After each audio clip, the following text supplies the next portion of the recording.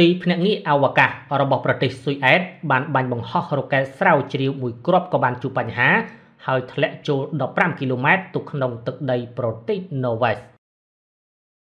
កាលពីថ្ងៃអង្គារទី25ខែមេសាឆ្នាំ2023ពេលវេលាក្នុងតំបន់ទីភ្នាក់ងារអវកាសរបស់ប្រទេសស៊ុយអែត Sweden Space Corps ហៅកាត់ថា SSC បានឲ្យដឹងថា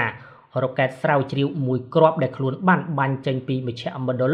អវកាស Estreng នៅភាគខាងជើងប្រទេសស៊ុយអែតបានជួបបញ្ហាហើយធ្លាក់ចូល15គីឡូម៉ែត្រទៅក្នុងទឹកដីប្រទេសណូវេសដែលនៅក្បែរគ្នានេះបញ្យងតាមការចេញផ្សាយដោយសារព័ត៌មាន AFP នៅថ្ងៃពុធទី26ខែមេសាឆ្នាំ2023 ជុំវិញករណីនេះទីភ្នាក់ងារ SSC បាននិយាយថារ៉ុកែតខាងលើនេះបានហោះឡើងដល់រយៈកម្ពស់250គីឡូម៉ែត្រជាទីដែលការងារពិសោធន៍ផ្សេងៗត្រូវបានធ្វើឡើងក្នុងស្ថានភាពមិនមានកម្លាំងទំនាញរបស់ផែនដី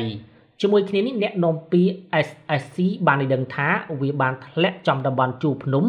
នៅកម្ពស់1000ម៉ែត្រនិងសន្ធិដ្ឋនៅចម្ងាយ10គីឡូម៉ែត្រពីតំបន់ដែលមានមនុស្សរស់នៅគៀកបំផុតទីភ្នាក់ងារ SSC បានបន្តថាការងារដើម្បីទៅយករ៉ុកែតនោះមកវិញកំពុងតែប្រព្រឹត្តទៅហើយការស៊ើបអង្កេតក៏កំពុងត្រូវធ្វើឡើងដើម្បីកំណត់ពីបញ្ហាបច្ចេកទេសដែលបានកាត់ឡើងផងដែរ ចំណែកឯអ្នកនាំពាក្យក្រសួងការបរទេសណូវេសបាននិយាយផងដែរថាអាញាធរណូវេសបានយកចិត្តទុកដាក់ជាខ្លាំងចំពោះសកម្មភាពមិនមានការអនុញ្ញាតណាមួយនៅក្នុងតំបន់ព្រំប្រទល់របស់ប្រទេសណូវេសក្នុងករណីមានការបំពានព្រំដែនអ្នកដែលទទួលខុសត្រូវគួរជូនដំណឹងភ្លាមៗមកកាន់អាជ្ញាធរណូវេសរួមមានទាំងក្រសួងការបរទេសហើយតាមរយៈច្រកតាក់ទងត្រឹមត្រូវ ក្រសួងការបរទេសណូវេសមិនទាន់ទទួលបានការជូនដំណឹងជាផ្លូវការណាមួយអំពីឧបតវហេតុខាងលើពីអាជ្ញាធរស៊ុយអែតនៅឡើយទេ